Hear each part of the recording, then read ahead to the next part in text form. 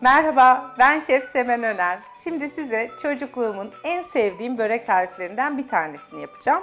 Biz bunu aile içinde kelleyle yapardık. Şimdi ben size tavuklusunu tarif edeceğim. Kelleli börek derdik. Şimdi tavuklu börek diyebiliriz.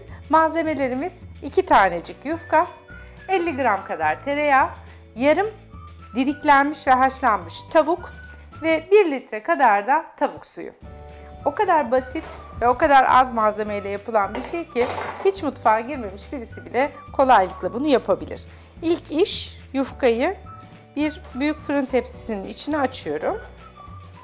Siz eğer bunu misafir için yapıyorsanız daha şık bir e, işte cam pyrex, daha şık bir e, seramik kap vesaire gibi bir şeyiniz varsa onun içine de yapabilirsiniz.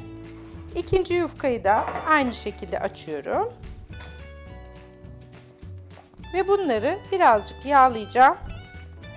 200 dereceye önceden ısıtılmış fırında çıtır çıtır olana kadar kurutacağım. Bu da 15 dakika kadar sürecek. Neredeyse börek bitti. Şimdi yapmam gereken bu tavukları tiftilmiş normal tavuğu bu yufkanın üzerine yaymak. Siz bunu etle de yapabilirsiniz. Sebzeyle de olur. Sebzeyle gerçi denemedim ama eminim onunla da güzel olacaktır. Mantığı güzel. Burada kullandığımız tavuk suyu da tabii ki gerçek tavuk suyu. Benim naçizane önerim bir bütün tavuğu alıp haşlamanız ve o haşladığınız suyu burada kullanmanızdır her zaman için. Şimdi bu tabanı oluşturacak. Diğer yufkayı da gördüğünüz gibi kağıt gibi kurudu. Üzerine yerleştiriyorum ve biraz tavuk suyuyla ıslatıyorum. Eğer isterseniz tavuğunuzu haşlarken tuz karabiber kullanmadıysanız araya yani tavukların üzerine tuz karabiber de serpebilirsiniz. Gerçek tavuk suyuyla böyle ıslatıyorum. Çok fazla ıslatmamaya dikkat edin. Mama gibi yumuşacık olmasın. Şöyle bir herhalde şimdi ben yarım litreden biraz fazla oldu şu anda.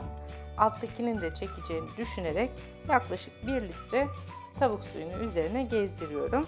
Ve tekrar sıcak olan 200 derecelik fırına koyuyorum. Birazcık suyunu emdiriyorum. Bu birazcığın süresi de 20 dakika yarım saat arası. Çok güzel koktu. Eminim çok lezzetli oldu. Şimdi tabaklara porsiyonluyoruz. Üzerine birazcık yoğurt. Hatta isterseniz sarımsaklı yoğurt. Dumanı üzerinde. Birazcık da kırmızı biberle yağ yaktım. Herkesi memnun edecek, pratik, lezzetli, ekonomik tavuklu börek hazır. Afiyet olsun.